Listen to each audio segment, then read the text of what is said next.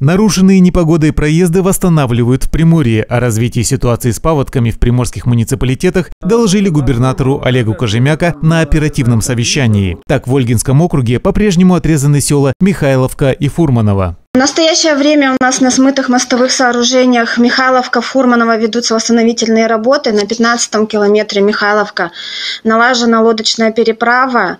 Сейчас там работает Примавтодор и ОСО, разбирают разрушенный мост для использования старых ферм для обустройства временного моста. До 14-15 числа обещают сделать объезд. В Дальнереченском районе ведется восстановление моста на Любитовку. Завершат работы тоже в течение недели. Дополнительно в район прибыло 15 спасателей МЧС. В самом Дальнереченске идет отсыпка насыпи, в частности в районе мясокомбината. Мы продолжаем, все насосные станции у нас работают безостановочно.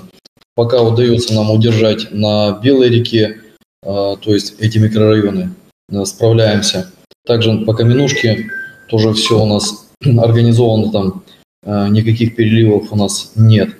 Э, лодочные переправы работают, э, вода доставляется. Губернатор края поручил главам муниципалитетов и профильных ведомств продолжать держать ситуацию под контролем, обеспечивая население пострадавших территорий всем необходимым. По словам Олега Кожемяка, прошедшие наводнения позволяют выявить слабые места и составить к сентябрю план дальнейших работ, который начнет реализовываться этой осенью и зимой.